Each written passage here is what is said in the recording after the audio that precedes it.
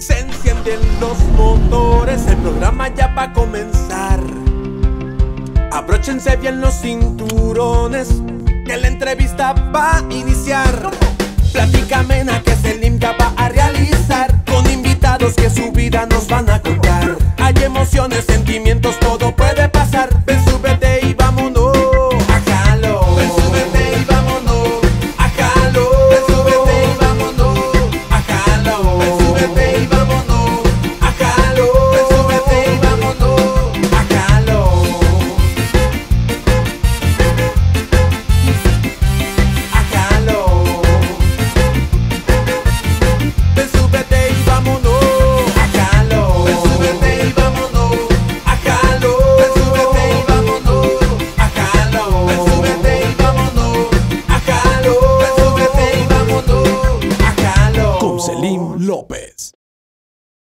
Hola, ¿qué tal? Muy buenas, bienvenidos a Jalón. Les saluda Selim López. Estamos listos y preparados para otro programa más, otra entrevista más.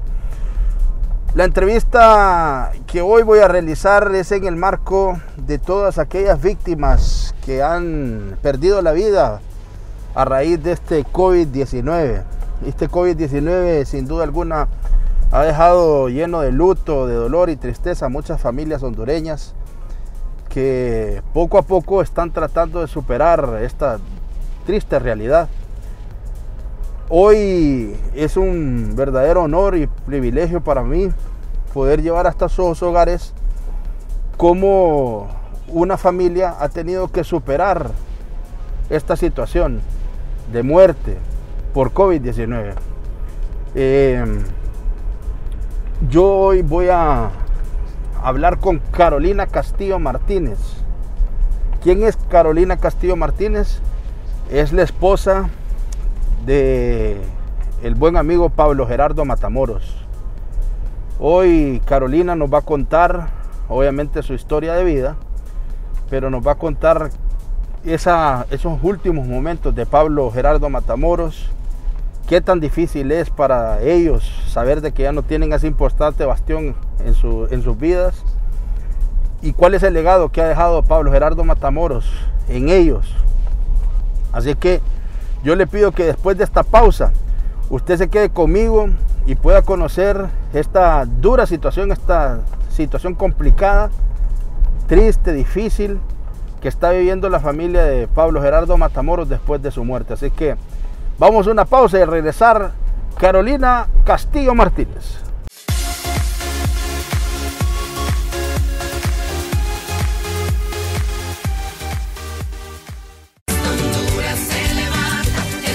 Estamos reactivando la economía con impulsos históricos a la micro, pequeña y mediana empresa, a estos emprendedores que generan más del 70% de los empleos del país. Volvimos al campo y hoy estamos viendo los frutos de esa decisión. Tendremos una de las mejores exportaciones de café de los últimos años a pesar de la crisis, así como en otros alimentos. Hoy nos hemos asegurado que nuestros productores tengan acceso a créditos blandos a largos plazos que nos permiten tener seguridad, un respaldo de que habrá comida en la mesa de los hondureños y en varios casos a exportar. Estas no son palabras, son hechos para usted, son hechos para todos.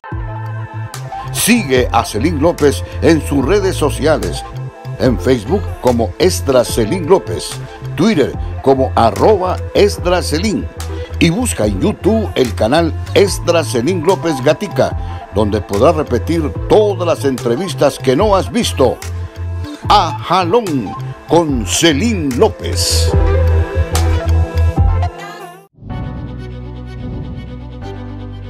El presidente del Congreso Nacional, Mauricio Oliva, logró llegar a consensos con todas las bancadas mayoritarias para aprobar artículos electorales especiales y asegurar la celebración de elecciones primarias en marzo próximo como lo prometió al pueblo hondureño dejar claramente establecido que van a haber elecciones internas. Eso es parte de cuidar esta democracia, de fortalecerla, de perfeccionarla. Este acuerdo permitirá que la nueva ley electoral pueda discutirse con calma y aprobarse a tiempo para regir las elecciones generales de noviembre del próximo año y asegurar transparencia y confianza en sus resultados. Congreso Nacional abierto, plural y democrático.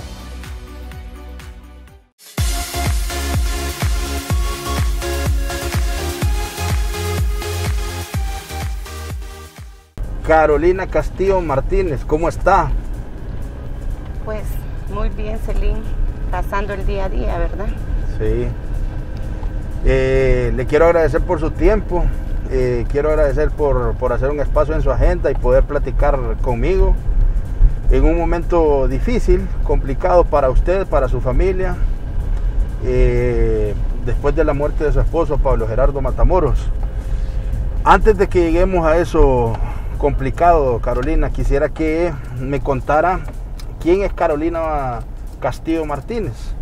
Y voy a arrancar como con todos mis invitados. La primera pregunta que les hago a todos es, ¿dónde tiene el ombligo enterrado? Ah, no, mi ombligo está aquí en Tegucigalpa. ¿Usted de Tegucigalpa? Capitalina, sí. Yo capitalina, mis padres sí de, de Yuscarán, uno y el otro de San Juancito, pero yo nací de aquí en Tegucigalpa. Okay. ¿Su papá es de dónde? Eh, de San Juancito. San Juancito. Sí. ¿Él se llama? Jorge Alberto Díaz Castillo. Ok. ¿Y su mamá?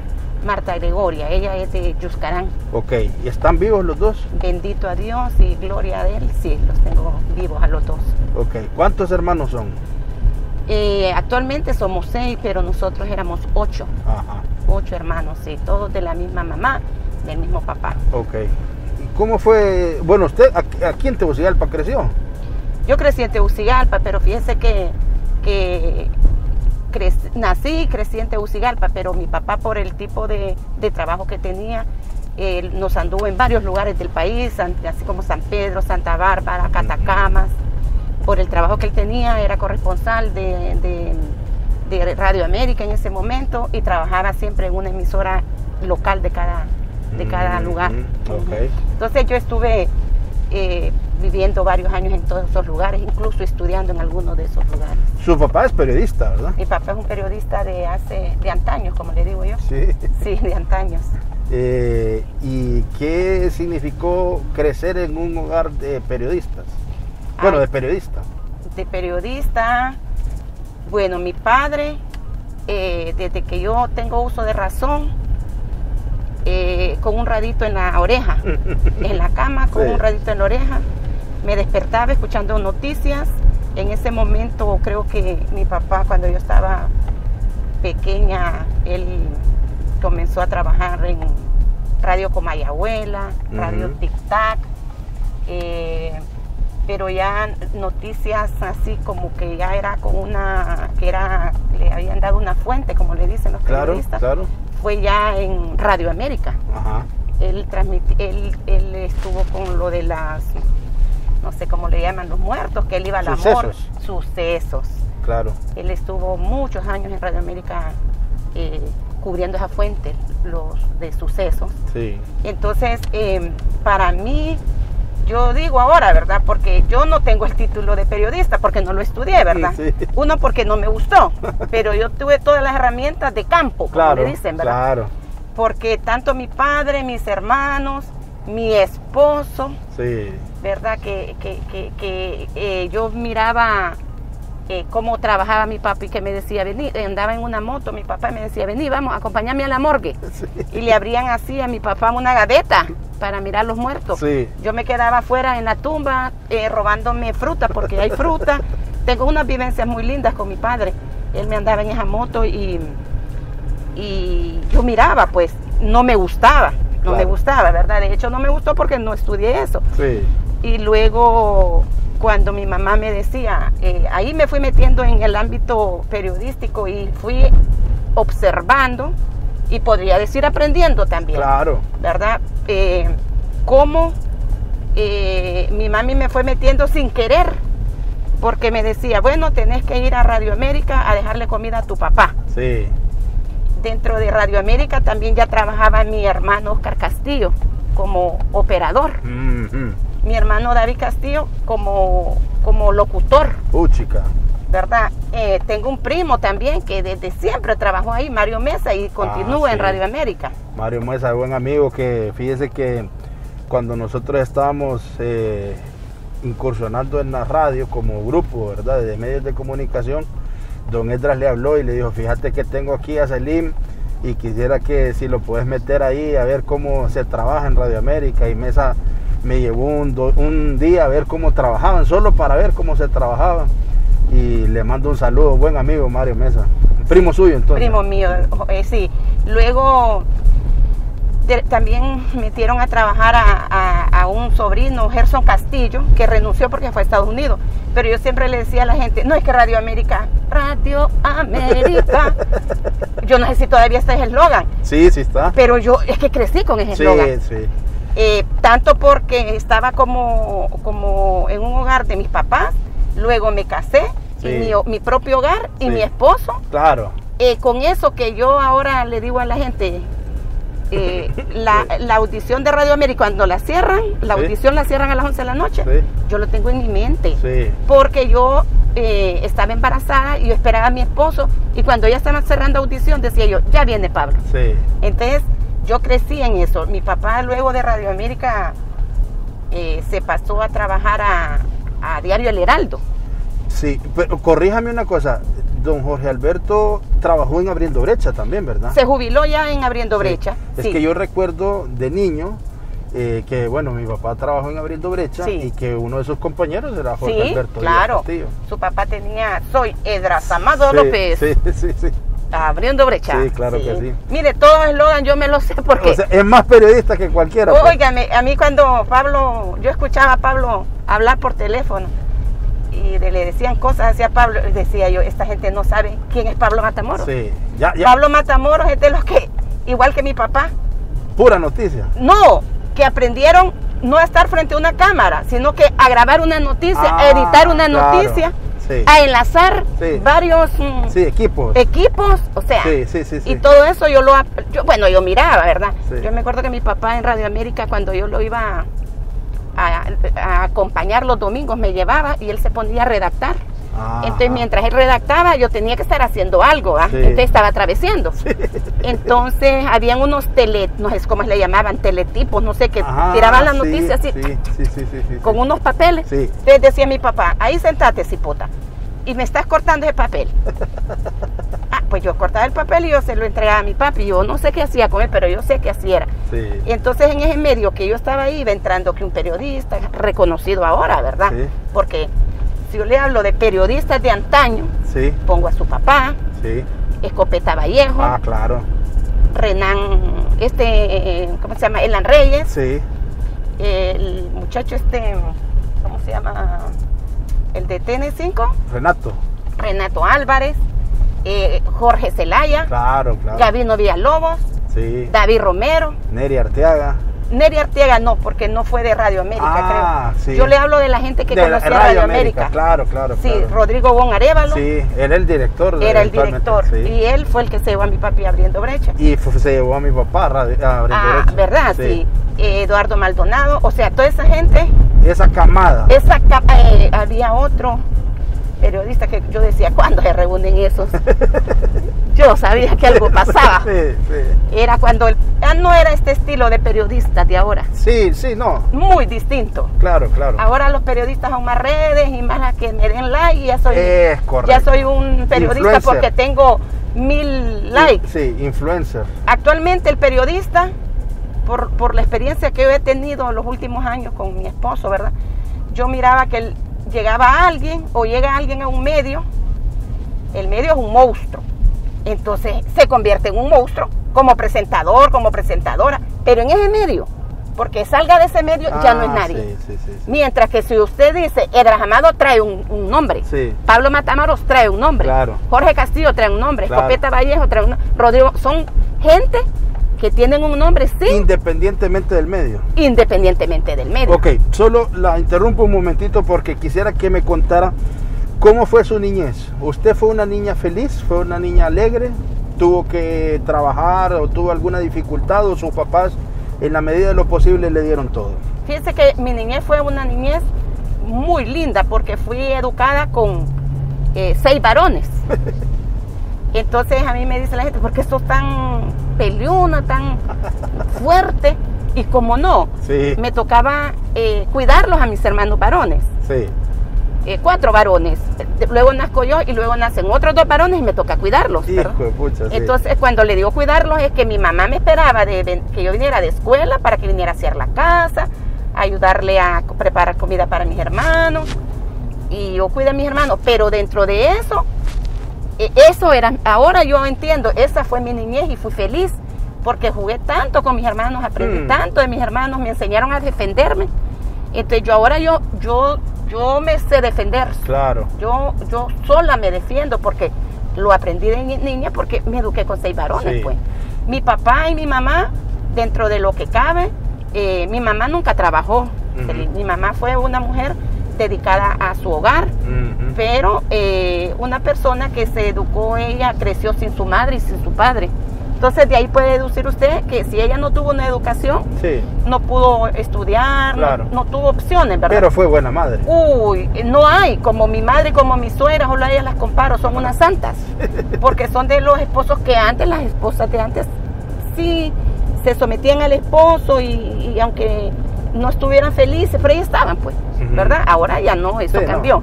Sí. Entonces yo a mi madre, yo digo, es una santa, porque le aguantó a mi papá, yo miraba, mi mamá era de las que iba a, a- hacía pastelitos, hacía Ah. enchiladas, eh, hacía charamuscas, y mis hermanos iban a vender a la isla, que usted yo creo que no había nacido cuando existía la isla y se jugaba pelota ahí. Sí. Entonces mi mamá hacía charamusca, mis hermanos iban a vender al, al, al Al estadio. estadio. Y la niña que era yo, Ajá. siempre cuidándome dentro del barrio, porque yo nací en barrio Buenos Aires. Entonces, en los barrios usted ya sabe que todo el mundo se conoce, conoce, y se cuida, ¿verdad? Sí. Antes, ¿verdad? Sí.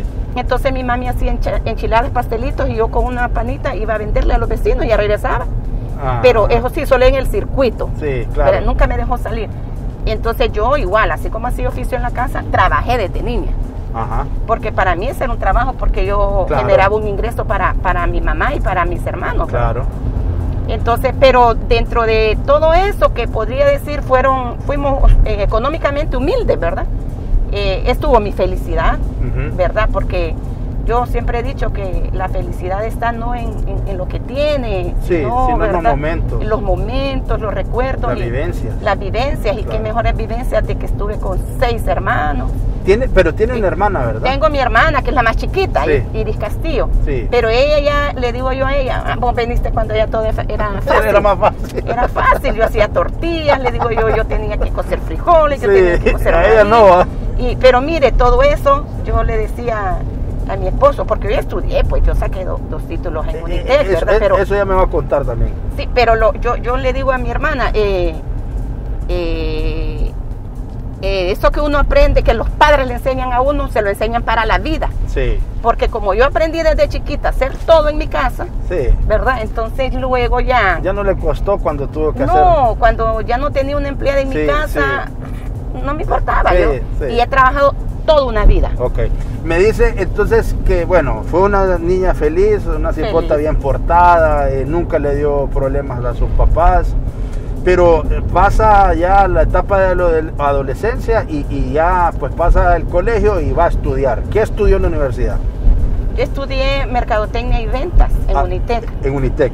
Sí. Ajá. Entonces, mm, pero mi, mi, fíjese que mi, mi- mi- mis estudios universitarios ya los saqué casada. Ah, ok. Sí, yo, yo con mi papá, no, mi papá, todos, eh, lo que nos heredó en vida, mi papá, como dicen, fue una, un diploma eh, de colegio. De colegio, ok. Ya después cada quien decidió lo que tenía que Ah, estudiar. entonces, entonces correcto. Entonces me va a contar a los cuántos años se casa entonces. Yo me casé bien joven. Yo me casé bien joven, todavía no tenía, eh, no me había graduado. Yo Del colegio. del colegio, Ajá. no, del colegio sí. Ah, ok. De colegio sí, de universidad no. Ajá. Y yo me casé embarazada. Entonces, usted sabe que en un embarazo, un hijo ya no, no tiene uno el tiempo Para, para estar estudiando, Sí, ¿verdad? A tiempo completo. tiempo completo. Cuando ya el niño va creciendo, entonces uno ya puede desarrollarse profesionalmente. Pero yo estudié eh, ya casada y con un... Y con un Ok, ¿a los cuántos años se casó? Yo me casé a los 21 años, a cumplir 22. Ok. Yo conocí a, a mi esposo a los, a los 16 años. De, en ¿A colegio. Pablo? Sí, a Pablo. yo Ok, conoce a Pablo en la radio. 16. Yo lo conozco en Radio América. Ok. A los 16 años. A los 16 años. Un día que mi mami me dijo, un- no se me olvida jamás de, lo, de la vida, hasta con la ropa que andaba. ¿Usted? Sí, no, no se me olvida. ¿Cómo Eh, andaba? Andaba con pantalón rojo que antes se usaban hasta aquí, Ajá. pescadores. Ajá, ajá. y, mm, y una blusita pegadita. Entonces, yo no sé por qué me había ido yo tirar a las perdiciones el día. tío. Yo no tenía novio, yo no, nada, nunca había tenido novio. Pero yo ese día me fui a tirar a la perdición, como dicen. Celín. Y con mi, yo- nosotros vivimos, no sé si usted conoce, eh, el Core 7. Sí. Bueno, el Core 7 para arriba. Esa, esa ha sido mi, mi- ahí es mi, mi, mi, ¿cómo le digo? Mi raíz, Ajá. ¿verdad? Entonces cuando, cuando mi mami me dice un día, después de que vengo del colegio, que vaya a dejarle comida a mi, a mi papá, Ajá. ay, yo, yo iba feliz, como que, eh, no sé, tenía un presentimiento. yo. Y entonces yo fui a dejarle la comida a mi papá, ahí estaba mi hermano Oscar Castillo, Ajá. me imagino que mi, mi, mi esposo Pablo me tuvo que ver, pero Sí, solo no, me vio. La tuvo que haber Pero solo me vio, pero no, yo no lo conocí ni nada. Ajá. Pero después vino mi hermano Oscar Castillo y me dijo, Lina, porque a mí me dicen Lina en mi casa. Ajá. Lina me dice, te mandaron saludes. ¿Quién? Le digo, Pablito Matamoros. ¿Y quién es él? Ah, un negrito que trabaja ahí, me dicen, la Universal. Ajá. Ah, de verdad, le digo yo. Ay, como yo nunca había tenido novio, y mi mamá y mi papá me mantenían así. Quieta. Y estudié en un colegio solo de mujeres. Hijo de pucha. Entonces, mi papá, cuando yo practicaba en la Leona Básquetbol, eh, allá llegaba a ver si era cierto que estaba ahí. Y yo, La tenía es chequeadita. que sí, yo, yo no sé por qué mi papá era No, así. pero eso fue bueno porque la cuidaron, pues. Sí, pues ¿O sí. no? No, pero exagerado, o sea, a mí ni a la pulpería me dejaban ir, ¿verdad? Ay, no, mi papá era exagerado. Ajá. Y lo comparo ahora con mi hermana ma- menor, nada que ver cómo fue conmigo. Ajá. Entonces, mm, cuando a mí me dice mi hermano que me manda saludes, Pablito, bueno, me Pero usted no lo conocía. no lo conocí, Ajá. pero mire que yo era bien pícara. Ajá. Un día que yo iba para el colegio, le digo a mi hermano Oscar, decirle a Pablito que me vaya a traer al colegio. le digo. Qué atrevida, ¿verdad? Él por eso me decía, no, es que yo no, usted me enamoró a mí, me decía. Ah, pues sí. Este, para conocerlo y mire que allá llegó Pablo. Pablo era de los que, bueno, bien humilde. Era delgadito, delgadito, Pablo. Trigueñito. Fideo. Fideo. Y él siempre andaba con vestido como Michael Jackson. Es que se vestía así porque bailaba igual que Michael Jackson. No le creo. Pablo, una vez hicieron un video ahí en el, pro- en el, en el canal donde él trabajó hace poco, este año creo. Ajá. Llegó alguien a bailar, un militar bailando. Ah, sí, sí. Y les digo yo, ah, me ponen a Pablo. Lo Con la edad que tiene, sí, en- comparado la edad de Pablo Claro, con el claro, joven, claro. Pablo lo vota porque Pablo bailaba eso de Michael Jackson, esa No, música. hombre. Patinaba. No, hombre. Él era un patinador ahí en plaza cuando no había nacido usted. Patines plaza. Eh, ajá, ahí, ahí llegaba, era él a patinar, él patinaba, bailaba con patines. No le creo. Sí, no, Pablo era bien activo. Ajá, eso. espéreme, espéreme, espéreme, que está bueno esto, usted, está, está interesante porque todos estos datos nadie lo sabe, yo creo, yo- y si lo saben, pues... Solo la familia. Solo la familia. Ajá, Sí. entonces, usted le dice, decirle a, a a Pablo, que, me vaya a traer. pero no me fue a traer. No la fue a traer. Entonces yo, lo, yo conseguí el 2232-1009 de Radio América, nunca se me olvida. Ajá, Imagínense cuántos años, sí. como treinta y pico. Y entonces yo lo llamé. Hola, ¿cómo está? De un público, porque antes no Sí, tenía. sí, no bueno, había nosotros no teníamos teléfono en Sí, casa. sí. Pero ahí en donde era Diunza, que es en la esquina donde vivimos actualmente, había un teléfono público. Mm. Y yo a escondidas me venía a hablarle a Pablo. Pucha. Y entonces yo le dije si me podía ir a traer. Y me dijo él que sí. Ya me fue a traer. Y él desde Pero cuando lo vio le gustó. Ah, es que como no había tenido novio. ¿Verdad? Yo no había tenido novio, entonces yo lo que quería era saber cómo era Sí, tener cómo era la onda. Sí, y yo me llevaba jugando básquetbol, porque yo juego básquetbol. Ajá. Entonces yo me llevaba jugando básquetbol y él lo empecé a invitar que, que me fuera a ver, después que fuéramos a jugar a, a las canchas, ahí nos llevábamos jugando en las leonas, ¿sí? Pero ahí empezamos, pero, pero mi, mi, mi relación con él inicial fue Radio América, Ajá. ¿verdad? Que Pablo era operador. Operador. Sí, era Pablo, operador. entonces ahí empecé a preguntarle yo, ¿y usted qué hace? Le decía, usted tiene voz de cucaracha, le decía. Mm. Pero no me quitaba el radito. Mi papi pasaba escuchando eh, noticias. Sí. Yo no me quitaba un radito escuchando a Pablo porque él me saludaba Ah. en la Universal, porque él tenía un programa con Verónica, Verónica Castro, creo que se llama, una, una, no la conoces, es una locutora, Ajá, no. que todavía vive ella, y entonces tenían un programa de romántico, solo música romántica. Ah. Entonces ya se imagina usted. Sí, ahí la terminó Yo lavando losa Sí. y con el radito aquí, ¿verdad? Sí. Barriendo y con el radito acá, Sí. porque él me ponía la música, Pero él cuántos años le llevaba a usted? No, él solo me llevaba un año. Ah, o sea que, o sea que usted tenía 16 cuando iba a dejarle Die- comida a su papá y él tenía 17. 17, ah, sí. ok. Sí, entonces ahí comenzamos, nosotros anduvimos de novios cinco años. Sí, cuando se casaron. Cuando nos casamos, Ok. eh, él tenía un año más que yo. Sí, claro, claro. Sí, y siempre bien responsable. padre. Pero él también ya estaba estudiando en la universidad o no? Fíjese que él estudiaba bachillerato Ajá, en la noche. Ajá. Él estudiaba en un colegio de la Kennedy. Ok. Entonces ahí yo lo conocí, pero yo a él no lo miraba, o sea, sí, sí, es cierto que él me fue a traer a ver, no fue que éramos desde ese día ya novio, Sí, claro. porque mi papá le echaba fixa. no le creo. Mi papá toda una vida ha ido a Alcohólicos Anónimos. Ajá. Entonces él ha tenido un horario de, en Alcohólicos Anónimos de 7 a 9. Ujú. Entonces él siempre decía, bueno, a las 9 que yo estoy en casa no debe de haber visitas de nadie. Y ahí no habían visitas, solo era la de Pablo, entonces prácticamente me lo estaba corriendo. Porque yo a las 9 vengo a descansar, decía. Sí, sí.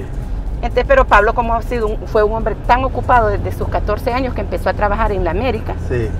Entonces él también, él no podía llegar todos los días. Claro, claro. ¿Verdad? Él solo llegaba una vez a la semana y a veces era fin de Pero semana. entonces se fue construyendo esa relación hasta que, bueno, pues se, se terminaron casando y con, con, con hijos, pues.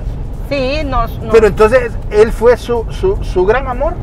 Fíjese que estando con él, eh, había otro muchacho que estudiaba en el Guillén, como por ahí era mi colegio, el Minerva. Ajá. Entonces ese muchacho también me andaba pretendiendo y como no tenía nada con Pablo todavía, entonces yo por- podría decirle que con los dos andaba como con quién de los Probando a dos, ver. con quién de los dos, pero Pablo como siempre fue bien serio, un día un día lo enfrentó y le dio la mano y le dijo, no, ella anda conmigo, le dijo. Mm, no, me- no se me olvida ir donde era más eh, Mahomar, Ajá. eh, íbamos para el Rubén Callejas Valentine, nosotros, a- yo iba a jugar y él iba conmigo. De, no me llevaba de la mano ni nada porque no éramos novios, pero mi otro pretendiente venía a traerme y él le dio la mano. No, le dice ella. Y no se me olvida, Freddy era un nicaragüense. Ajá. Entonces, bueno, dije yo, desde ahí yo me enfoqué solo con él, con Ajá. él, con él. Y yo trabajaba, mire, yo comencé trabajando en mis, mm, en mis vacaciones de, de colegio, que son di- di- noviembre y diciembre, Sí. en una, una tienda que antes se llamaba Billy the Kid, Ajá. de Manolo Méndez. Sí. ¿verdad? Pero como yo trabajaba eh, ya para cuando estaba estudiando comercio, Sí. entonces ese año que trabajé en esa tienda, yo ya ese año me iba a graduar de perito mercantil. Ajá. De la mamá de Manolo Méndez, Margaret, doña Margarita, me dijo, ven acá chica, tú vas a trabajar conmigo todo el año. No, es que mis papás solo me dan permiso las vacaciones, Ajá. le digo. Entonces don Manolo me fue a presentar, Bamer antes era ahí en, eh, por el Parque Valle. Ajá. Ahí era Bamer, era una casita, Bamer. Entonces dijo don Manolo, ven acá chica, me dice, yo te voy a ir a presentar a Camilo Atala, me dice para que te dé trabajo en Bamer, porque tú ya eres profesional, ya era perito, pues ese, ese- Mire. entonces, bueno, le digo yo, ¿y qué tengo que hacer? No, eh, en- cuando ya te den tu título, me vienes a buscar y yo te llevo a que te entrevisten. Y así fue, Pucha. ya con mi título de perito, eh, me llevaron donde Camilo Atala, y creo que era el hermano de Ricardo Álvarez el que estaba ahí en ese momento, no me acuerdo cómo se llama. Eh, y ellos me entrevistaron y yo empecé a trabajar como una semana después de cajera. Ah. Ahí estuve en caja. Pero, pero seguía ya, o sea, usted ya estaba en relación con Pablo, pues. ya o sea. con Pablo yo ya sí. estaba eh, casada. Ah, ok. Ya estaba casada. Pero ya estaba embarazada también. Ya estaba. Es que yo me casé embarazada de cuatro ah, meses. ok, ok. Y, bueno, ¿y su papá que la tenía así quieta? ¿Qué le dijo cuando que- dio cuenta? Fíjense que como Pablo me, me- me- me dio, como toda mujer sueña, ¿verdad? Mi- mis honores, La como honró. dice. Sí, me honró. Eh, él trabajaba en la radio, yo trabajaba allá en Bamer. Entonces ya, no es que teníamos dinero, pero ya podíamos mantener el niño. Entonces Ah, Pablo dijo, no, Pablo no tenía carro, me acuerdo, y tenía ahorros para comprar su primer carro. Ajá. Pero como en eso salí embarazada, tuvimos que adelantar la boda. Ajá. Porque nosotros nos íbamos a casar para mi cumpleaños un diciembre. Ajá. Pero como salí embarazada, me tuve que casar en 27 de abril por lo civil. Ajá. y, y un 29 por la iglesia. Entonces, mm, lo que sí mi papá notaba es que es que Pablo ya llegaba más seguido a la casa porque mis embarazos, como fueron varones, fueron bien, Escandalosos. Sí, no podía estarme solo vomitando, Ah, vomitando. ya, ya, ya. Entonces ya eso mi papá y mi mamá ya empezaron a notar, La pero nunca dijeron nada. Ah, Pero en eso Pablo pidió, el papá de Pablo y Pablo pidieron una cita con mi mamá para irme a pedir la mano pucha. y dijeron, bueno, que nos vamos a casar. Nos casaron ahí en casa, privado. Bien hechito. Y ¿ah? no, olvídese, Pablo. Bien es que hecho. sí. Y él dejó de comprar ese carro Para para comprarme todo lo que tenía que, que tener en, en el apartamento, porque empezamos viviendo en un apartamento. Claro, claro, claro. Solo vivimos dos años en apartamento. ¿verdad? Sí. Fíjense que en ese aspecto, Pablo y yo, yo les digo a mis sobrinos, eh, una, detrás de un hombre, ¿verdad? Siempre está una gran mujer. Una mujer que lo tiene que dirigir, porque ustedes los hombres son, son completos, ¿no? El hombre es completo, Sí, sí, sí. es la cabeza, uno se apoya, pero les hace falta a veces como norte. arriesgarse, el, el riesgo, y el riesgo uno sí, entonces yo le decía, bueno, cuando nos casamos, pues Pablo fuimos a vivir ese apartamento, me lo tenía con todo Pablo, con todo, dice la mamá, mi suegra, que cuando Pablo compró esas cosas, allá se las fue a meter a la casa de ella por mientras nos casábamos, que dormía con la puerta abierta a él porque no le cabían en el cuarto de él todas las cosas que compró, la refri, qué estufa, traje el, el comedor, todo. Y él lo fue a meter al cuarto de él, dice la mamá, y, y en el patio. Pero cuando ya nos casamos, ya todo eso lo llevó, ¿verdad? Claro. Pero ¿El muchachito cómo se llama? El, el primero. el primero igual que el papá, Pablo Gerardo Matamoros Ajá, Castillo. Pues mire que cuando nos casamos nos quedamos viviendo cerca de donde mi mamá. Ajá. Entonces ahí, cuando ya nos casamos, ya Pablo le dijo que quería hablar con ella para decirle que estaba embarazada. Y mi mamá dijo, no, yo ya sabía. No tenían que decirme, lo sabía. Pero como miraron que era Pablo un buen hombre, eh, me honró, sí. Entonces Al final, al final su papá lo terminó aceptando. lo aceptaron. Lo, sí. lo- lo querían al final. Sí, es que Pablo siempre me lo quiso mi papá, como Ah, lo conocía de Radio Claro, América. claro. Y lo miraba que era un hombre trabajador, Claro. un hombre sin vicio. Óigame, pero ya, ya, ya entrando un poco más a la vida de él, fue un trabajador incansable. Incansable. Pero, pero, pero cómo usted, bueno, si lo conoció así, no le pudo haber reclamado a usted, ¿verdad? No, Porque me- lo conoció trabajando. Lo- me hizo él. Mire, eso de los walkie-talkies, Sí. eso de los beepers. Sí. eh, Uy, yo, Los walkie-talkies era un sistema de comunicación por radio. yo los botaba porque en la noche los dejaba prendidos y no me dejaba dormir. Y sí, es que, es que fíjese que yo, yo crecí con, viendo esa- ese sistema con Don Esdras. Entonces, eh, era una forma de comunicarse para, para, para buscar las noticias de manera fresca. Claro. Vaya, muévase a tal lado, que tal cosa. Y, y incluso eso se utilizaba para transmitir. Después con la tecnología llegaron los beepers también. Los beepers. Y eso es, eh, eso son herramientas específicas para los periodistas. Correcto. O sea que usted lo vio a él con todo eso. yo no, a él lo empecé, como le digo, yo a él lo conocí No, no, o sea, operando, a medida fue Y el programas. tiempo, sí, el él fue poniendo sí. sus propios programas, él Sí. puso, tenía... Pero después fue- de la América se fue para dónde? Sí, le quiero comentar algo que esto, esto, creo que esto me hizo enamorarme de Pablo y, y que de pasar tan pendiente el programa de don Rolando Ramos del Valle. Ramos del Valle, porque ellos tenían un programa los sábados, eh, un programa de música vieja, Sí. y yo estaba cipota, pues, sí. 17, 18 Sí, años. Pero yo por eso conozco toda la música vieja, porque como crecí, ¿verdad? Con ellos ponían música de la Sonora, de Ajá. no sé qué. Entonces don, don, don Rolando Ramos del Valle, yo quería saber si Pablo estaba ahí, sin que yo lo llamara. Entonces cuando decía don Rolando, don Rolando, mi garrincha, Pablito Matamoros. Ah. Él me le decía mi garrincha, yo le decía Pablo, Pablo, ¿y por qué te dice mi garrincha? Ah, porque dice que es un jugador famoso. Sí, sí, sí. Entonces Pablo ya me explicó, entonces yo no me perdía los programas los sábados, son para recordar. Sí. Entonces, después de ese programa, Pablo, creo que ahí es donde Pablo se hace como, ya empieza su nombre. A decir, Pablo hizo su nombre en Radio América. Ok. Pablo comenzó de operador, luego le dieron la oportunidad de los domingos de locutar en Radio Moderna. Ajá. Un señor Tinoco, que le agradecemos mucho porque nos ayudó mucho, don, don Saúl Tinoco, creo que se llama de Radio, de Radio Moderna. Eh, luego Pablo, yo le digo, cuando ya nos casamos, tenés que seguir la universidad, tenés que sacar una carrera, mi amor. Entonces yo no sé él cómo se inclinó por meterse a, a sacar derecho. Ujú. Pablo empezó a sacar derecho y lo sacó trabajando ya con, con un hogar, pues ya con el hijo. Entonces, cuando él le toca hacer la práctica, don- el doctor Andoni Fernández lo requería Pablo. Me lo quiso muchísimo el doctor Andoni. Le dijo, mire Pablito, cuando usted se gradúe de abogado, usted se va a venir a trabajar aquí a las empresas Mandofer porque ya no vas a ir de operador, ¿verdad? Le decía. Entonces Pablo, Pablo era tan, ¿verdad? Eh, que lo que le decía el jefe, él era bien, sí, está bien, le dice Pablo. Entonces yo le decía, Pablo, amor, eh, ¿vas a estudiar derecho para seguir de operador? No, si el doctor me va a dar la oportunidad en, en me decía. Ah, ok, pero si te gusta, porque yo miraba que a él le gustaba más lo que es el periodismo, las comunicaciones. ¿Por qué se inclinó por derecho y Yo no le por dije que periodismo? no, pero también se matriculó para, de- para periodismo. Ah, ok. Pues entonces mire que cuando se gradúa de, de- él hace su práctica, ya lo empiezo a ver bien guapo yo con sus sacos, con saco, con corbata, con maletín, Sí, sí, sí, y ya me empieza a impresionar más el hombre. Y entonces mm, un día me dice, Lai, me dice, ya no voy a trabajar en la América. ¿Y eso? Dijo el doctor Andoni que ahora tengo que ir todos los días a las empresas Mandofer.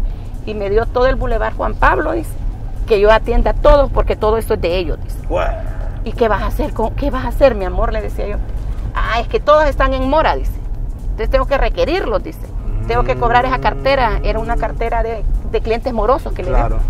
Y mire que los sábados, siempre en la América, pero se quedó en la América, pero también trabajaba con, con- las A él le daban casos ahí en, en, en, en Mandofer. Entonces yo siempre me involucraba. ¿Qué te dieron, amor? Porque yo lo acompañaba. Ajá. Yo lo acompañaba a hacer la la- los requerimientos Sí. y habían unos chinos así de ahí, de los de Cerros, esos chinos, lo llamaban y le pagaban en efectivo, me Ajá. acuerdo. Yo le decía, amor, a mí me da miedo que andes eso.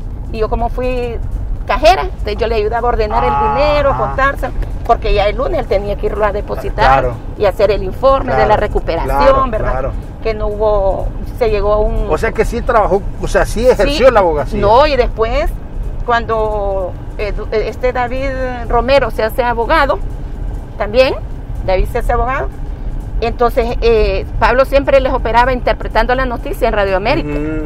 ¿verdad? Entonces... eh, Con Eduardo. Con Eduardo, de ahí Sí, es donde yo conozco a Eduardo y a David. Claro, claro. Le estoy hablando de 30 años, ¿verdad? Sí, sí, sí. Entonces David se gradúa de abogado y ponen un bufete en el edificio, creo que Rosenthal. Ah, Un ajá. bufete bien bonito. David siempre fue bien, bien, bien, bien- bonito. Tenía sus pinturas, Ujú. sus bonitos escritorios. Entonces Pablo, siempre en la América, siempre con Mandofer y, Y trabajando y trabajaba David. con David. Y Yo no sé si en ese tiempo Eda- Eduardo y David le habían dado también la cartera de clientes de ellos de la publicidad Ah, para que Pablo llevara ese, esa administración, Claro. ¿verdad? De facturas y Claro, todo eso. Ya con Pablo como abogado, entonces ya eso le subía, sí, sí, sí, ¿verdad? Entonces, ahí Pablo también estuvo con, con David como, como en ese bufete. Yo no sé después qué pasó. Ah, Julio Maldonado como que se fue de vacaciones y Eduardo ya tenía como que el programa, no sé. Ajá. Y le dijeron a Pablo que fuera ¿Cuándo, a cuándo llega Pablo a HCH? Pero porque HCH era programa de televisión. programa. Sí. Es que fíjese que ahí es donde yo, yo No se acuerda no mucho. recuerdo mucho porque como Pablo, toda una vida en eso, que, que estaba en la América, que después con el doctor. Mire qué interesante. O sea, solo para recapitular. Pablo Gerardo Matamoros, operador, ahí estuvo en Radio América, se hace abogado, trabaja con las, las empresas Empresa Mandofer, pero también operaba. Operaba. Entonces le operó a David Romero y a Eduardo Maldonado. sí. Entonces cuando se hacen abogados, eh, Pablo Gerardo se va con Eduardo, eh, con David, hacen el bufete, pero ahí estaba siempre ligado En con don Eduardo y todos Sí, ellos. sí, sí, sí. Mire qué interesante. Sí. Entonces, eh, ahí en, en una, en abrir, y cerrar de ojos, Pablo entra también a HCH, Entra- en pero- el programa, pues. En el programa, lo que pasa es que eh, Pablo empezó con una, con una, como le digo, en la Globo creo que empezaron. Sí, es que, es que el programa HCH se transmitía... En la Globo, ¿verdad? Comenzaron, es que no recuerdo. Bueno, dónde, yo, o yo Canal recuerdo que 11. en Canal 11. era. Canal 11 sí, en comenzaron, Canal 11. sí. Y después se pasaron para la Globo. Ajá, en Canal 11. Y después ya para el medio como tal. Sí, pero fíjate que cuando estaban en la Globo, Pablo siempre trabajaba de reportero de, de Eduardo. Ajá. Pablo se hizo en campo. Claro. Pablo se hizo en campo, Pablo fue de los primeros que transmitió con tablet. Sí. Pablo, eh, Pablo le apasionaba eso. Sí, bueno, yo me acostumbré a estar sin Pablo prácticamente. Eso, eso, eso, porque siempre estaba trabajando. pues. Mire, los horarios de, de- de- de Radio América, él abría audición Pero cuando, cuando él terminaba la jornada y llegaba en la noche. a dormir. pero, a descansar. Pero sí pasaban momentos Uy, no, sí, claro. agradables. Uy, sí, claro. O sea, platicaban del día, se reían. Nosotros con Pablo, fíjense que la gente decía, tenían el concepto de que Pablo era un hombre que solo pasaba trabajando, ¿verdad?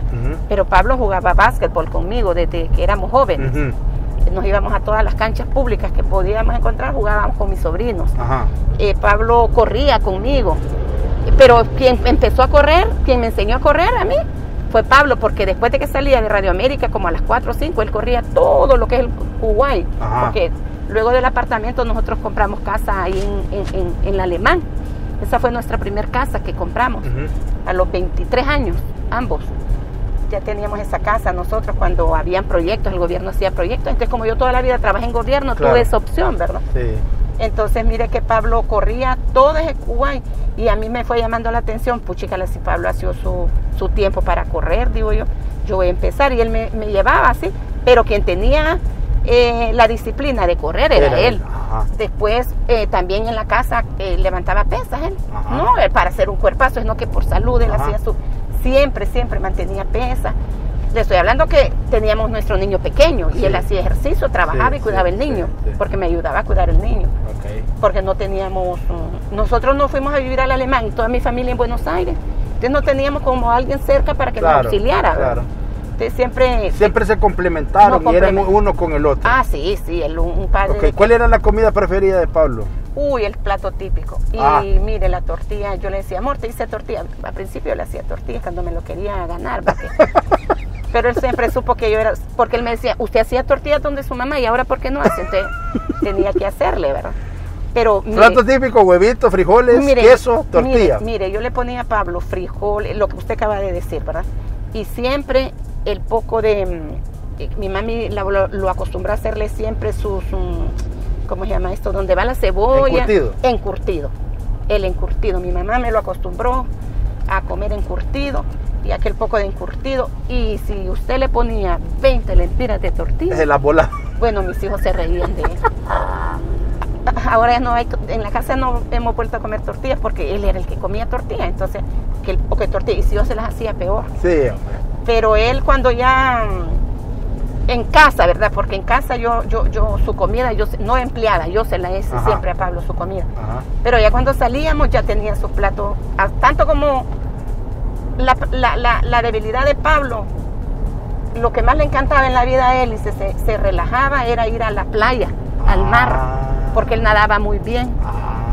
Yo, Óigame, pero usted me describe un hombre muy atleta. muy atleta. Y entonces, pero eh, esa pregunta que le voy a hacer se la voy a hacer más adelante, pero quiero que quede establecido que era muy atleta, corría, hacía pesas, nadaba, jugaba básquet, o sea, Sí. muy activo. Muy activo, Pablo, muy activo, jugaba pelota. Ok, solo un paréntesis. ¿Cómo era eh, la relación con Eduardo Maldonado? Pablo- sí, Pablo y él. Sí. Ay, como le digo, fíjese que yo le decía a Pablo, amor, decirle a Eduardo, no, no, no, no, a mí no me gusta molestar. Yo con Eduardo casi no hablo, Carolina me decía, ¿cómo que no vas a hablar si esto es-?" No, no, no. Eduardo no, me decía. Pero le decía yo, Pablo, pero Eduardo a vos te, te súper requiere. Decirle, Pablo, no, no, no. Entonces, cuando yo quería que me hiciera un favor o algo, Ajá. me decía que no y no me lo hacía. Entonces yo no, no podría decirle cómo era la relación. O sea, era, era muy, muy, muy, o sea, su trabajo y, trataba de no molestar. Eso, eso, yo le decía, amor, eh, fíjate que quiero que me hagas un favor. Voy Pero, pero, pero nunca le decía, fíjate que, que, o sea, hablar de como que, que- que eran hermanos, o sea, que eran muy, muy cercanos. Mm, no, fíjese que al aire lo decía Eduardo, ¿verdad? Ajá. Pero ya en el campo no. O sea, ya. Al en- aire lo dijo muchas veces, a mí me decía la gente, Carolina, fíjate que dijo Eduardo que, que hasta un día me dijeron, eh, dicen que, que a Pablo va a ser el heredero de Eduardo. Y yo me reía porque, por favor, les decía yo. Yo me reía, ¿verdad? Pero realmente, mire, Eduardo de, de palabras nunca supe nada, pero de acciones, sí. Ajá. Yo en la vida he aprendido eso, Celín. A mí no me venga a decir que me ama. A mí no me venga a decir que a mí las acciones, ¿verdad? Y, y Eduardo sí tuvo muchas acciones con Uy, Eduardo, sí, con. Pablo. Uy, sí, sí, sí, sí. No, no, no, ¿para qué?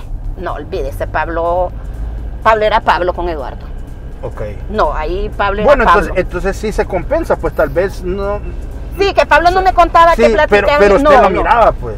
Pero yo- sí, sí, no, no, no, sí, Pablo. Y como Pablo no molestaba, Pablo era tan entregado a su trabajo, se ganó, bueno, tan a, Pablo, a Eduardo, él, imagínese desde cuándo vienen juntos. Pues sí, Solo de ahí deduzco usted. sí, claro. Para el golpe de Estado, quien Claro. estuvo frente a ese canal, Claro. no se me olvida, era Pablo Matamoros, que a mí me daba miedo. Él queriendo entrar a aquel canal y, y aquellos militares, Sí. y solo Pablo. Sí. Ahí no había nadie más que Pablo Gerardo Matamoros representando O sea que a sí, Eduardo. sí, o sea, sí, sí, tal vez como usted dice, tal vez él no comentaba mucho, pero las acciones de don Eduardo para Pablo sí eran espléndidas. Sí, olvídese, Eduardo con Pablo, yo lo... Y lo- Pablo, Pablo fue coordinador de noticias. Le sacó el jugo a varios periodistas. Tuve a Denis Andino aquí, me dijo que le sacó el jugo en 15 días. Lo hizo que renunciara, dijo, cuando entró. Fíjense que Pablo no comenzó como coordinador. No, no, no. No, ahí yo he, he visto, bueno, yo viví tanto tiempo con Pablo trabajando en ese canal, ¿verdad? Que yo decía, puchicala, no puede ser que una persona tan nueva, decía yo. Mm, Había cosas que, que a mí no me encantaban, ¿verdad? pero no me metía, pero yo las observaba. Porque Pablo se hizo en campo, señor. Pablo eran las 10 de la noche y le hablaban por ese walkie-talkie, porque empezaron con walkie-talkie Sí, en sí, canal. sí, y todo. Pablo me decía, es que la- yo tengo el contacto de un policía y me dice cuando... Todo periodista tiene su contacto, ¿verdad? Y Pablo el 10, 11 de la noche salía y yo le ponía a mi hijo mayor, acompañarlo, amor. No, ahora yo miro que es bien bonito, que qué noticias me tenés de Copán, qué noticias vamos a pasar. Bien bonito, y solo estarme informando desde mi casa, desde, desde el carro, ¿verdad? Eh, pero Pablo le tocó que una vez casi me lo llevó una, una rastra en una carretera. Pero así estuvo, mire, que casi me lo llevó una rastra.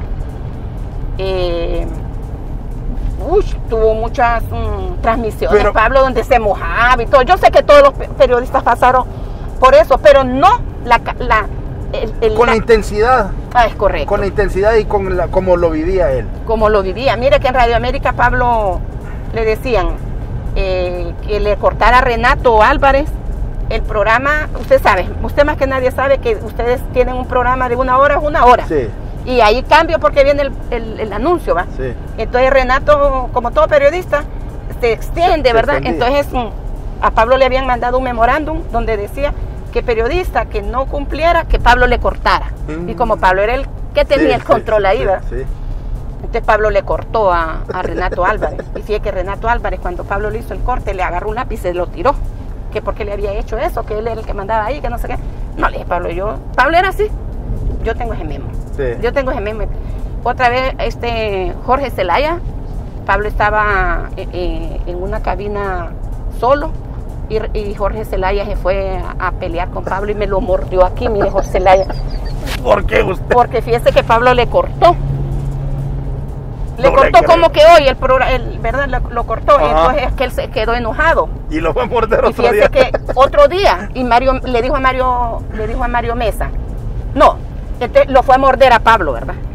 Le mordió el, el- el lomo. Pablo llegó aquí con el. El moreto. ¿Y por qué Pablo le dio? Y ya me contó porque le había cortado. Pero Pablo al día siguiente le dijo a Mario Mesa, mira, eh, cuando venga Jorge Zelaya, avísamele. Pablo, nadie de Pablo lo creía, mira. Ajá. Cuando venga Jorge Zelaya, avísame, le dice a Mario Mesa, a mi primo. ¿Qué vas a hacer, Pablo? No, me avisas dónde, dónde, ¿A dónde va a estar? Sí. Pero mi primo dice que no le dijo nada, Pablo me cuenta, pero Pablo se estaba viéndolo. Y Pablo lo, lo ahí donde mismo estaba Pablo, es que yo creo que ahí redactaba o no sé qué, Ajá. estaban los teletipos y todo eso. Pablo llegó y Pablo sí lo agarró, pero a golpe, ¿verdad? No, a golpes, a golpes. Entonces dicen que Pablo fue el que pudo ahí, la fuerza fue Pablo ahí. Entonces este muchacho, Jorge Zelaya, le fue la- a poner la queja al jefe. Pero nadie le creyó a, a- Jorge Zelaya. ¿De qué? Pablito, no puede ser, nadie le Pero creía. él, pues. él- él era de carácter fuerte o no? Era enojado. Pablo era enojado, Muy enojado. muy enojado. Cuando se metía un rollo, sí, era enojado. Ajá. Pero era bien raro que él se enojara, era bien tolerante. Pablo Ah. fue un hombre muy tolerante, muy de diálogo. Y mire, era tanto su trabajo que, que, que tal vez vamos a entrar en una, una, parte sensible. O sea, él estuvo tan metido a su trabajo que cómo, cómo se infectó. O sea, ¿qué pasó pues? O sea, porque justamente eso es lo que hablábamos. Era una persona demasiado activa como para que perdiera la batalla contra el COVID. ¿Qué pasó? Recuerda que cuando Pablo se contagió fue cuando estuvimos con la etapa alta. Sí. ¿Verdad? Era que no habían ni hospitales, que los médicos no estaban atendiendo, que tenían miedo. Sí. Me consta, porque yo busqué a uno de que se suponía que me lo podía ir a ver ese día que se me puso mal. Mire, Pablo. ¿Cómo, cómo se infectó? Fíjese que eh, a nosotros nos suspenden de los trabajos y a encerrarnos. Sí. Entonces yo me encerré con mi hijo pequeño. Bueno, yo le digo pequeño, a 23 años ahorita. No salíamos. Entonces solo vivíamos, en mi casa solo vivimos mi hijo, Pablo y yo, porque mi hijo mayor eh, tiene casa, pues él vive aparte. Sí. Entonces nos dedicamos a cuidarnos, a desinfectar la casa todos los días, dos veces al día. Ajá. Eh, Pero él venía a trabajar. sí, entonces quien hacía la vida normal, para Pablo la pandemia no le cambió nada a su vida. A mí sí y a mi hijo porque nos suspenden de los trabajos a encerrarnos y a cuidarnos. Entonces Pablo hacía su vida normal. Lo que antes era que lo veníamos a dejar, porque Pablo nunca anduvo carro propio, sino que andábamos dejándolo nosotros. Así le gustaba a él. Entonces mi hijo lo ve, antes lo venía a dejar, pero cuando la pandemia él agarró carro como no utilizábamos carro en casa, él agarró carro y se venía todos los días a las cuatro y media de la mañana a trabajar, después a las diez y media a la casa a, desayunar, después a las 12 a meterse a trabajar y después hasta las nueve de la noche. Pero en todo ese tiempo él andaba a su carro, ¿verdad? Antes no lo hacía, todo cuidándonos a nosotros, que no saliéramos. Entonces yo me dedicaba a cuidarlo a él en el sentido de que como yo estaba en casa, entonces puro fresco natural, sus té, sus vitaminas, eh, que comiera calientito, porque cuando yo no estoy tiene que calentar él, pero estando yo, yo todo se lo hacía. Y mire, estuvimos en marzo, abril, mayo, junio, así. El único que con el que podíamos salir cuando yo tenía que hacer algo, yo le decía el amor, después de que desayuné a las diez y media, once, once y media, él me sacaba a la carrera a comprar cualquier cosa que yo quisiera. Porque solo él podía andar en la calle, era cuando nadie podía andar. Y solo por periodista. Entonces él me decía, mire Carolina, dicen que hoy van a abrir tal supermercado, aprovechemos. Y hacíamos nuestras cosas rápido porque él nos llevaba y todo. Pero yo, yo le decía, amor, eh, corramos. No, corramos ahí en corralitos, porque ahí corríamos nosotros antes de la pandemia. Corramos en corralitos y no pasa nada. No, es prohibido andar en la calle. Pablo, pero vos podés. No, los sábados. Él podía. Vamos a correr. No, ay, no, y yo no podía, porque si él no me autorizaba, yo no podía. Entonces yo también me tuve que, que, abstener de correr. Entonces cuando él, el único lugar que Pablo salía era a HCH, porque cuando íbamos a ser mandados así, él solo se quedaba en, el, carro, esperando. Esperándome, él no, no se bajaba. Incluso a la casa, cuando él llegaba, yo lo desinfectaba. Hasta me decía, Lai, me vas a dejar ciego, porque casi en los ojos le echaba y me decía, me vas a dejar ciego. O sea, en la casa yo lo cuidé, yo lo cuidé. A mí lo que me sorprende y es, de los, es la, fecha que creo que nunca en la vida la voy a olvidar. No fue tanto el día que, el día que me, salió positivo, sino que llegó un día en la noche y se para enfrente del comedor, porque yo siempre lo estoy esperando en la cocina ya para ponerle su, cena, a ponerle su cena ahí y me dice, Carolina me dice, salió infectada Ariela. Yo me asusté, me asusté bastante. ¿Cómo le digo yo? Sí, me salió infectada Ariela. Bueno, a cuidarse, mi amor. No, no, Es que con Ariela usamos, yo no sé si fue que me dijo micrófono o una cinta que se, que se pasan ellos, no sé si es un micrófono, una ah, cinta. Y no sé una vincha. O una vincha. Una vincha. Eso me dijo, es que yo a la una que llego, ella me pase esa vincha, me dice. Mm. Y desde ese día, que fue un, un 15 de junio, creo que fue un 14, un 15 de junio, bueno, la semana que le detectaron a, ella, mire, el niño no me, me volvió a dar un beso. No me volvió a abrazar. que podría... Es que, es que él no tenía ni un síntoma ahí. No tenía nada él ahí. Pero sintió como temor cuando le, dijeron que Ariela tenía. Y a mí no se me va a olvidar. Se me sentó en, el, en la sala pensativo y le digo, amor, ven y come. Pues no tenés eso. ¿Qué te pasa? Ven y come. Pues está sano, le decía yo, vení. Y mire que me dice ese día, no, pero por cualquier cosa me dice, o el plato que me va a dar hoy, solo en ese plato me va a seguir dando y en ese vaso. Estás loco vos, le decía. Yo no le hice caso, ¿sí? No, le digo, no pasa nada, Pablo. Pues mire que... Espéreme, pero sin ánimo de polemizar ni nada, ¿usted cree que quien lo infectó fue Ariela? No, no, no, no. Yo no creo. No sé quién, ¿verdad? Él dejó hasta de visitar a su mamá por temor a que pudiera Contagiar. Sí. Él no le digo que no salía ni a correr ya. Su vida era de casa. Ya no lo íbamos a dejar nosotros. Ya no tenía ni, ni sino que él agarró carro. Pero quién lo contagió, no sé. Solo ese día, si no se me olvida, Que él dijo. que él me dijo. Que- Ariela le Ariela se la- contagió. Pero yo le dije, pero ¿qué importa? No, ¿qué, qué pasa? Vos no, vos no tenés nada. Y él me dijo, él ya me pasa, es adincha, no sé qué. Bueno, pero no tenían, yo, yo digo que en ese tiempo no tenía nada, no, no sé, ¿verdad? Ahora yo empiezo a pensar, uno empieza a recordar cosas y él desde ese día que le apartara su plato, su taza. ¿Cuándo empezó a sentir la sintomatología? Eh, fíjese que un fin de semana que él estuvo de turno.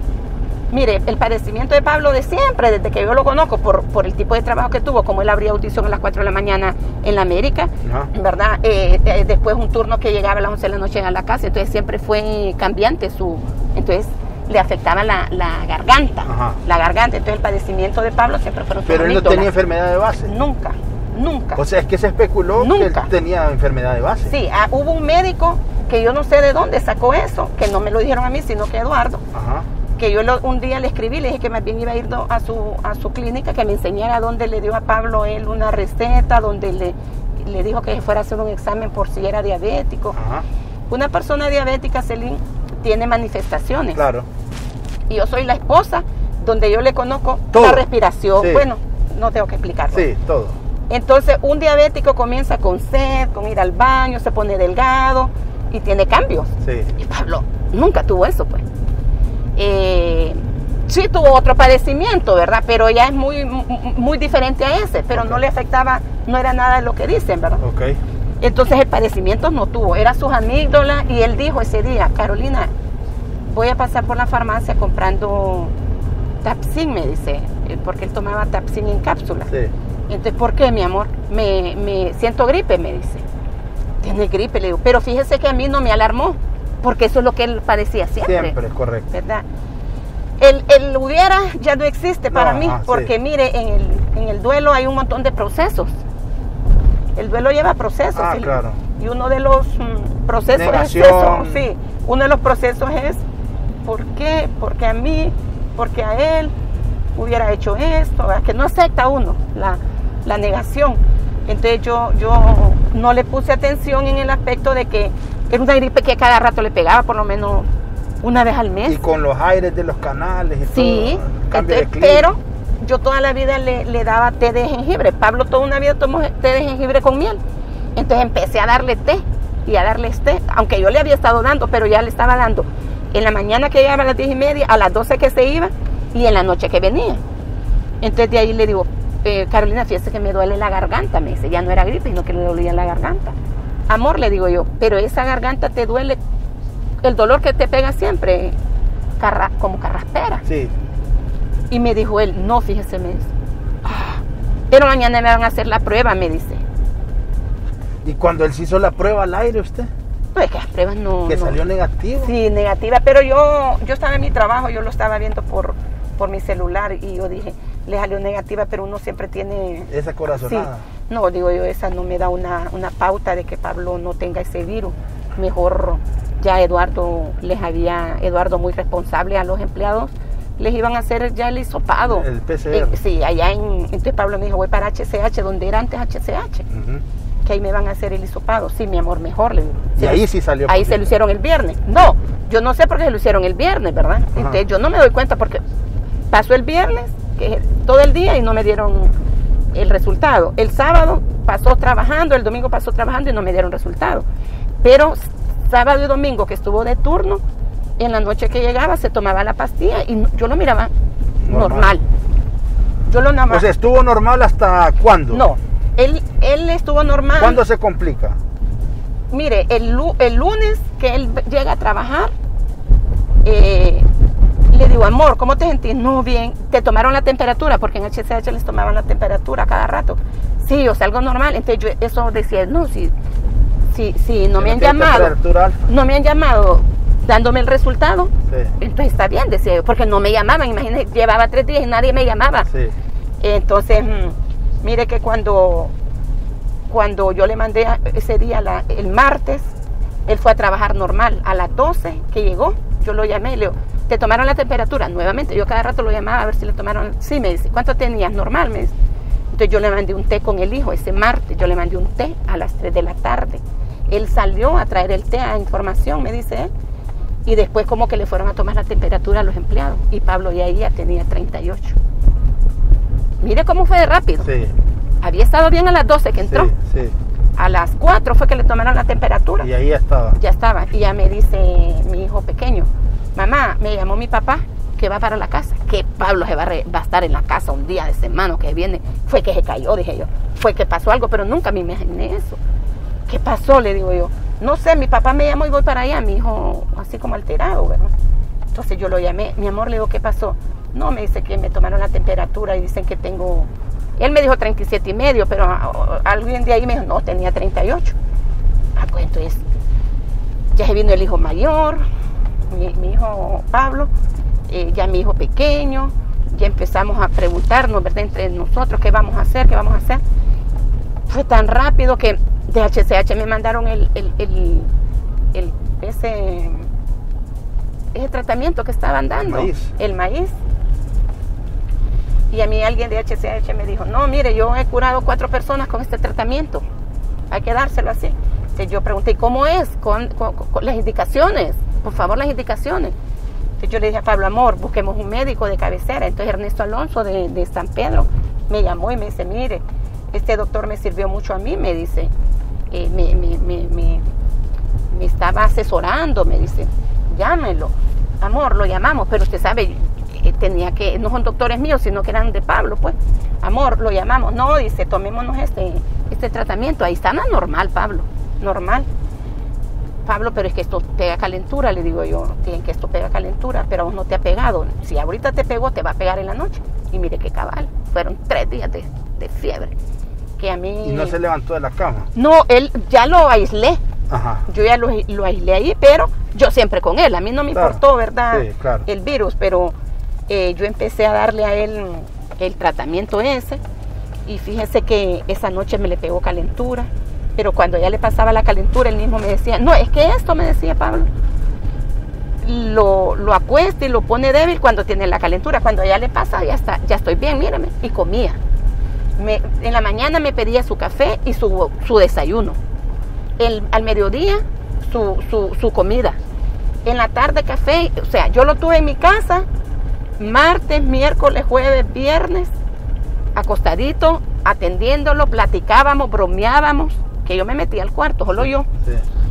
Y mire que el sábado un neumólogo amigo de nosotros nos dijo que le hiciéramos una radiografía, pero radiografía de, de pulmones. Y pero fíjense que yo empecé a llamar a, dos laboratorios. Y yo no les iba a mentir, yo les decía, mi esposo está con COVID. Y fíjense que me dijeron que no, que no se lo podían hacer, porque estaba con COVID. Pero siempre hay un ángel en la vida de uno y Pablo siempre siempre detrás de él habían muchos. Había en laboratorios médicos un muchacho que trabajó en San, eh, trabajó en San Felipe y mi hijo llegó y como mi hijo se llama igual que él, Pablo Gerardo, le dijo, fíjate que quiero hacerle a mi papá, tráigalo, ahorita tráigalo, que yo estoy aquí. Entonces lo llevamos. Y en ese radio X salió limpio. No tenía nada, fue un sábado. A nosotros felices. No tenía nada en la radiografía. Ese sábado él estuvo tranquilo, entonces le digo yo, amor, ¿me das permiso de ir a correr al anillo? No, me dice, muy peligroso, no, es un, es un sábado en la tarde, no hay gente, y me, autorizó a ir a correr. Corriendo andaba cuando me llamó dos veces, que si ya, ya iba a llegar, que me apurara. Ya se sentía mal.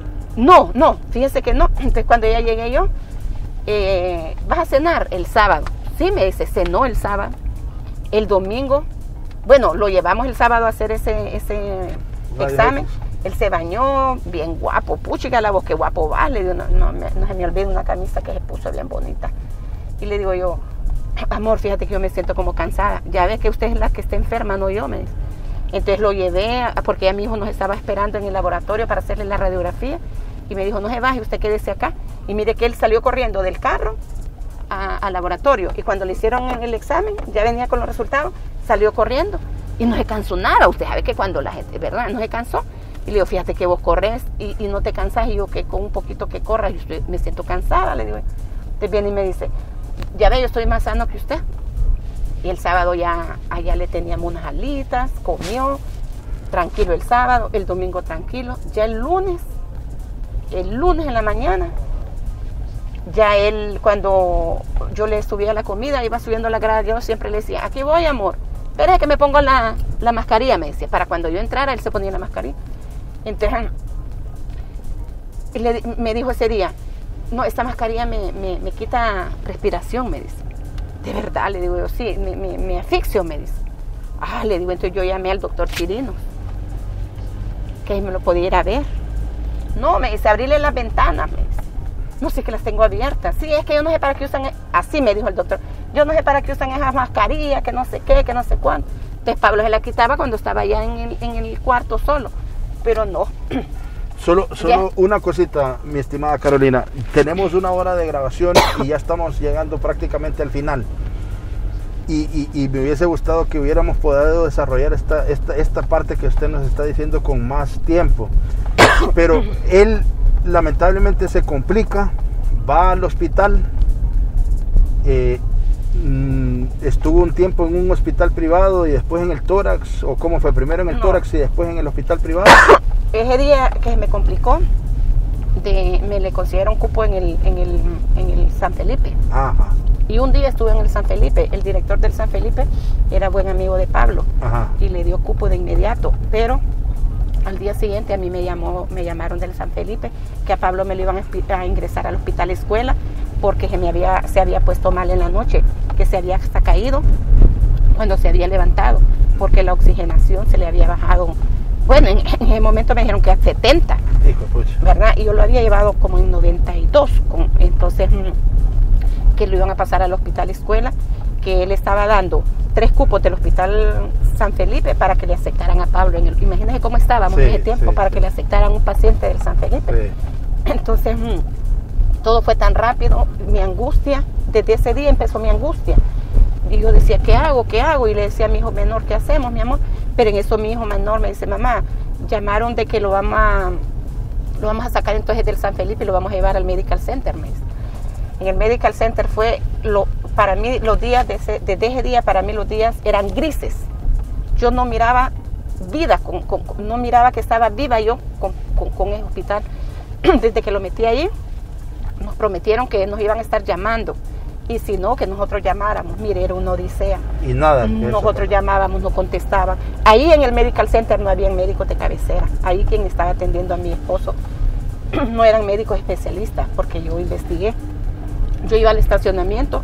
Una, una noche fui al estacionamiento para ver, averiguar de él, porque como no me contestaban, no contestaban, entonces no le digo a mi hijo, yo voy a ir al estacionamiento, ahí en información me tienen que decir, le digo yo, no, no, prohibido, prohibido, ahí usted no podía ir. O sea que desde que entró al medical no lo volvió a ver. No lo volví a ver. Yo lo fui a sacar del San Felipe, lo sacamos, yo ahí sí, yo lo subí a la ambulancia del medical, lo fui a dejar al medical por ir a hacer todos los trámites, por eso tuve que ir, ¿verdad? Y ahí aproveché, yo lo abracé, yo lo toqué, yo le dije, mi amor. Esa fue la última vez. Mi amor, le digo yo, eh, sé fuerte, vamos a salir de esto. Y mire que cuando él iba en el ascensor, él me hizo así, y yo también hice así. Los dos nos hicimos así. Y fue la última vez que yo lo vi a Pablo. Ya después, físicamente, ¿verdad? Ya después a él yo solo lo miraba por videollamadas, pero casi no me gustaba hablar con él porque lo sentía cansado. Yo le decía, mi amor, vamos a salir de esto. Y me decía él, no, no creo, me decía. ¿Por qué, mi amor? No, yo siento que me mejoro. No, amor, pero como ¿cómo vas a decir eso? Yo sabía que Pablo era bien así. cuando estaba enfermo le decía, si estás mejorando. Cuando las amígdalas, él era bien como negativo, ¿verdad? Entonces ese día me dice, amor, le, no, cuando lo íbamos a sacar del San Felipe, amor, te vamos a sacar del San Felipe, te vamos a llevar al médico. Eh, sí, está bueno. Horrible el San Felipe, me dice. Eso sí me acuerdo, horrible. Pero yo me imagino que horrible en el sentido de que como miraba más, enfermos. sí. Y eso Pablo nunca, Pablo no le gustaban los hospitales por eso, porque la sangre y todo eso lo debilitaba. Ento- Cuando entra al Medical Center, él, que yo lo voy a dejar de San Felipe, lo subimos a la ambulancia, lo bajamos de la ambulancia en Medical, me lo suben en el ascensor, ya esa noche solo fue por videollamada, pero él ahí me decía, amor, ¿cómo te sentís? Cansado, me decía. No, amor, pero ahí es bueno y te van a sanar, vas a ver que vas a salir de esto. Y yo le preguntaba, ¿comiste, amor? "Mm", me decía un día, un panqueque casi en una hora. ¿Cómo le decía yo? Sí, me decía, ahora yo entiendo. Claro, no tenía ni fuerza, te seguro en usted, ¿verdad? Entonces, mm, Y cuando le dan la noticia de que lamentablemente pierde la vida, ¿qué, qué no, sintió? no, es que, es que, es que no, no, no fue a mí. Y eso es lo que más me duele. No fue a mí, fue a mi hijo pequeño. Mis dos hijos. Ellos cargaron esa angustia. Porque mi hijo mayor era el que llamaba. Y lo que le decían los médicos, él nos lo escribía y nos mandaba a los, a los teléfonos. Tanta gente que me escribía a mí, me preguntaba, yo se los mandaba. Entonces yo directamente no era la que recibía la información, sino que Eduardo y mis hijos. Entonces, mi hijo mayor, mi hijo pequeño, en la mañana que me levanté, me dijo, mamá, mi papá tuvo un paro. No, mi amor, le digo, no puede ser. Sí, mamá. ¿Cree- creen que lo van a entubar, me. Me dieron autorización a Gerardo. Ay, no te creo. Bueno, yo a Dios no, no, no lo empecé a buscar para matar fuego, como dice la gente, ¿verdad? que uno busca a Dios, yo a Dios lo tengo permanentemente. Con Pablo nosotros somos católicos, mis hijos son salesianos, toda una vida en el San Miguel, entonces somos muy, nunca nos, siempre dijimos de la mano de Dios y de la Virgen que nunca nos suelta, pero en los momentos que tuve a Pablo con ese virus, permanentemente le pedíamos mis hijos y yo porque hiciera el milagro. Y mire que ese día me dice mi hijo, mamá, hay que esperar porque lo van a bajar a cuidados intensivos. Y yo, no señora, cuidados intensivos, no. Me quedé en la sala, no volverme a parar de esa sala, a dejar, de esa silla de mi casa. Como a las diez y media, yo miro que mi celular empieza un montón de mensajes, un montón de llamadas. Yo decía, ¿qué pasará? Y después bajo mi hijo, no se me olvida la carita de mi hijo.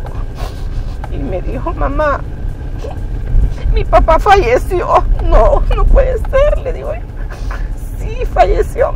Desde ahí, de ahí yo perdí, no, no sé, Se le fue una parte de su vida. se me fue mi vida, pero las cosas que Dios hace, hay que aceptarlas, Eli. Que la gente dice, él está en un mejor lugar, él está bien, pero yo digo, si Pablo, él estaba bien con nosotros, él era feliz en su trabajo, él era feliz con sus hijos. Bueno, ¿Lo extraña?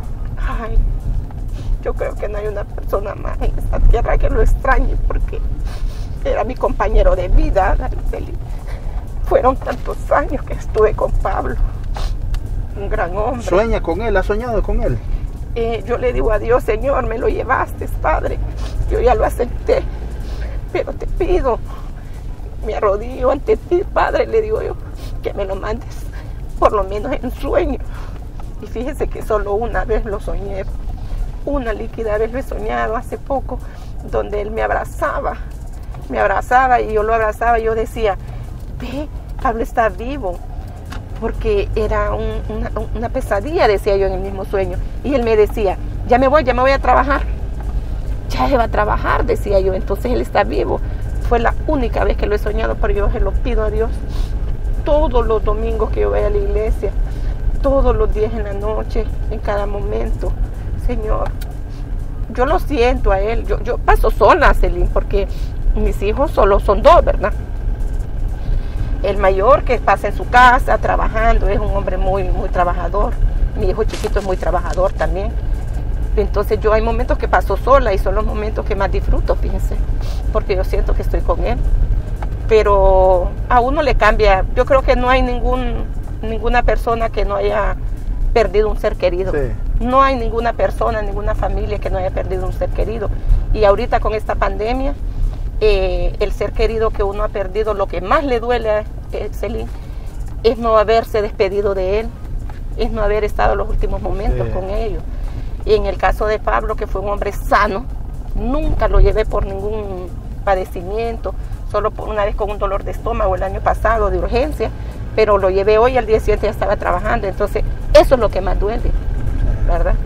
Y yo ahora solo digo, pues voy a para adelante con mis hijos, eh, a, seguir los pasos que él nos dejó. El legado que les deja. Él nos deja cosas tan maravillosas, un hombre tan trabajador. Recto. Uy, sin vicios. Honesto. Honesto. Su anillo de boda nunca en la vida se lo quitó y el día que murió a las 6 de la mañana le mandó un mensaje al hijo. Dígale a, a su hermano, al mayor, dígale a su hermano, a Gerardo, que venga por los anillos y se los entregue a su mamá. Ahí se cumplió lo que Dios nos dijo cuando nos casó, hasta que la muerte nos separe. Él nunca se quitó su anillo hasta que murió hasta que murió. Mire qué historia, Carolina. Eh, me tiene impactado. Y yo le agradezco que, que, haya contado esto. Eh, la mayor parte del programa nos reímos recordando las anécdotas de Pablo, porque era un hombre alegre, como usted lo describe, que solo usted lo sabe y su familia. Y mi más sentido pésame, de verdad. Esto no va a ser de la noche a la mañana que lo va a superar. No. Pero sí he escuchado que hay que recordar los buenos momentos que vivió con él y son muchos, ¿verdad? Y tiene el fruto de su amor, tiene dos hijos por los que usted tiene que seguir trabajando, tiene que seguir fuerte. Sí. Y recordar lo bueno, Carolina, que, que dejó Pablo en, en usted, su familia y en todo el pueblo hondureño que, que lo recuerda y lo registra como un hombre 100% trabajador. Sí, así era Pablo, era un hombre trabajador. Le agradezco por su tiempo. Gracias, Elín, a usted, ¿verdad? Eh, nunca pensé así como que íbamos a andar en este en Este jalón. En este jalón, es muy, muy agradable. Y sirve, bueno, me ha servido, mire. Sí. Hablar de, de, del ser que se le ha ido a uno. Claro. Eh, sirve de terapia. Claro, claro muchísimo, que sí. Muchísimo, Claro que sí. Antes de que nos vayamos, les tengo aquí un recuerdo de ajalón para que se la ponga una mascarilla, por favor, si lo puede sacar y, se la pone. Yo le agradezco por, su tiempo, por haber estado conmigo. Eh, ay, hombre, Carolina, ¿qué le puedo decir? Viera que me tiene con el corazón así hecho chiquitillo. y eso que, yo no estoy tan cerca, nunca fui cercano a don Pablo. Sí, sí, siempre lo admiré, pero no me imagino lo que puede estar sintiendo. Lo va a superar, amiga, lo va a superar eventualmente y va a estar en su corazón su esposo, ¿verdad? Y en la mente de muchos hondureños el trabajo y el legado que él dejó. Así es, Elin, así es. Yo, yo tengo que superarlo siempre pensando y agarrada de, la mano de Dios y de la Virgen, porque son los únicos. Claro. Y mi familia que ha sido maravillosa en este proceso. Este es un proceso. Sí. En este proceso que nunca me imaginé. Yo creo que en la vida yo he tenido golpes, pero jamás como el que tuve de Pablo. Bueno, muchas gracias Carolina y muchas gracias, a ustedes por haber estado con nosotros. Los esperamos el próximo domingo. Que pase buen día. Informe especial. Hay una propuesta que hoy la externa el doctor Omar Videa.